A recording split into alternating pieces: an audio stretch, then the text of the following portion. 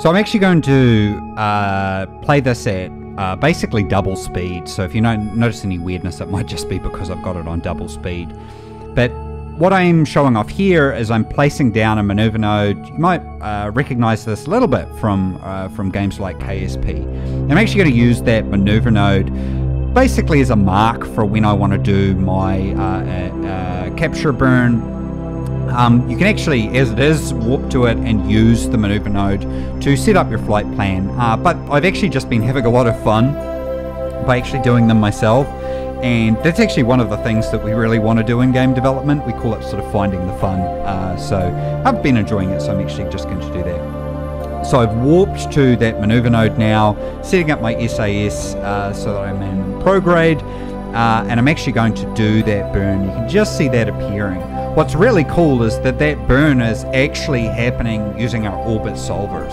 So the physics uh, and all the stuff for that is actually being done uh, as part of our whole Kepler uh, simulation. We don't have to use physics or anything like that. Uh, and which means that we don't have to make any of those concessions, and we've really completely decoupled that simulation from any context of rendering or anything like that. That means that we can have vehicles anywhere inside our simulation doing things. Maybe a KOS script is controlling them or anything like that. Uh, they can be sort of anywhere in the simulation being acted on or having things change. And that really cuts to that idea of seamlessness that we want to bring and things like that. So you can see I'm just about to get captured here.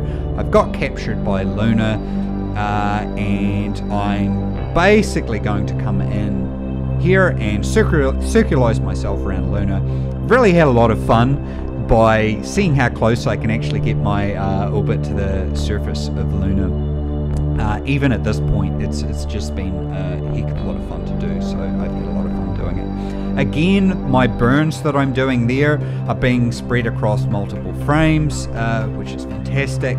And essentially, we actually do a bunch of magic to sort of take the vehicle off rails, make all our calculations. This is all happening on worker threads while you're playing the game, and the results of them are getting applied at the beginning of the next frame.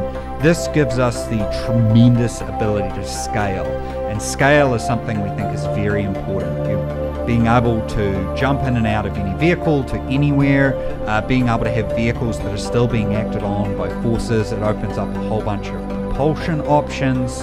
Uh, you know, obviously, in real life, uh, a lot of uh, burns and things like that are, are, not necessarily just very instant. So, so not having to make any of those concessions there is super important. So I'm just trying to see if I can tweak uh, my orbit here so I can get nice in and close uh, to Luna. Uh, one thing you will notice as I'm zipping down over the surface uh, of the moon is that we do still have some work to do well, actually, quite a bit of work that we want to do on the terrain, but there's a lot of levers that we can pull with that. So, one of the things that we're not doing is we're not properly self shadowing using the height. Uh, so, the mountains and the craters. That leaves it looking a bit flat, you can see in there. And we actually need multiple levels of uh, what's called detailed textures. I was actually even thinking that we might try to do sort of a detail height map texture as well. Um, I've been watching some real life footage, and I actually think there's a few tricks we can do in there. So I think you can expect to see a bit of progress on there, and there's some things that we really, you know, would kind of like to do as part of that too. But I definitely think the big takeaway at this point uh, might actually just circularize us and uh, see if we can take us back um, out of the moon sphere of influence back into Earth's but I really think that big takeaway is that as I'm doing these burns or these RCS changes, that these are completely decoupled from the rendering.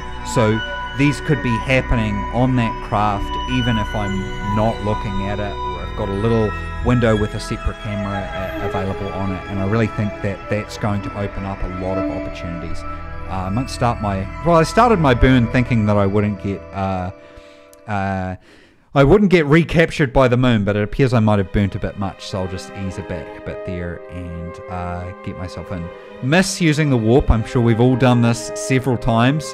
Um, I should really not be lazy here and place a maneuver node, but I apparently forgot to do that, so uh, I'm not going to edit it out because I'm sure every KSP player will have, uh, will have done that before.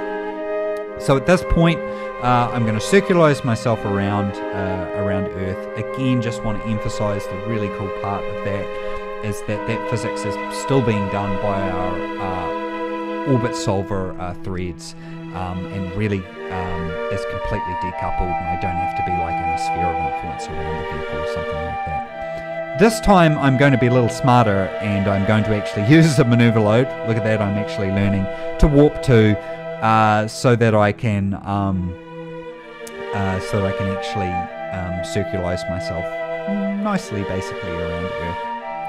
Uh, what I might do in some of our future videos as well is show off uh, just doing this with a interplanetary transfer, which would be really cool. Although I think uh, Jamie's actually working on some tools to maybe make that a bit easier because for testing purposes, it's actually proving um, to be a little difficult.